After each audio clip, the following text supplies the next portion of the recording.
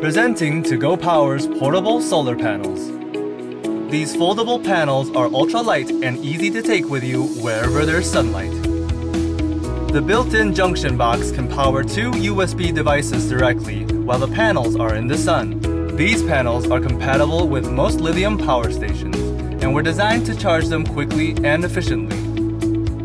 So if you wanted to go green for small devices at home or stay outdoors for an extended period of time, the Togo Power portable solar panels will provide clean and easy power wherever there's sunlight.